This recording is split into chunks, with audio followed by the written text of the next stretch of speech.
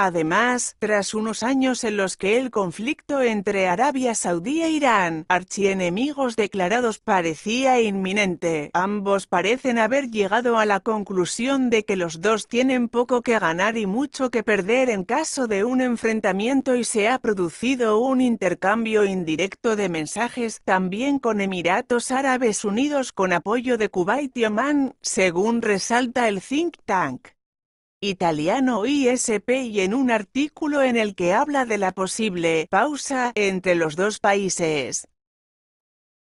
La Sala Civil y Penal del Tribunal Superior de Justicia de Cataluña, TSJC, ha dado traslado a las partes personadas en el procedimiento contencioso abierto contra el presidente de la Generalitat, Quim Torra, por la pancarta con el lazo amarillo en el Palau de la Generalitat para que informen sobre la procedencia de que dicha sala instruya el procedimiento penal. Según informa este jueves el TSJC, se acuerda dar un plazo de 10 días a las partes personadas, Impulso Ciudadano, Fiscalía y el propio Torra, para que informen sobre la eventual competencia de la Sala Civil y Penal para la instrucción y, en su caso, para juzgar a Torra por un delito de presunta desobediencia.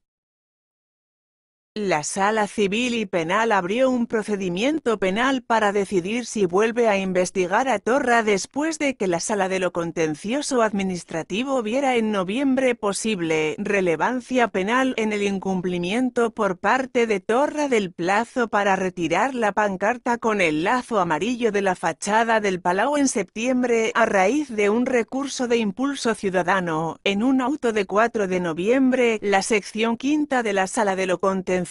Administrativo rechazó un recurso de reposición que la Generalitat interpuso contra la orden del TSJC de retirar la pancarta a favor de la libertad de los líderes independentistas encarcelados en septiembre.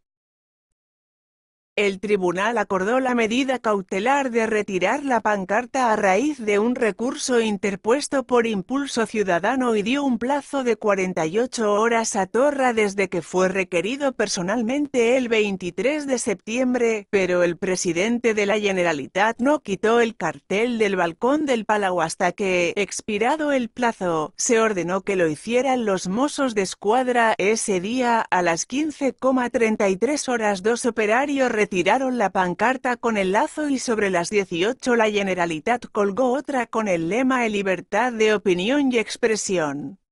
Artículo 19 de la Declaración Universal de los Derechos Humanos.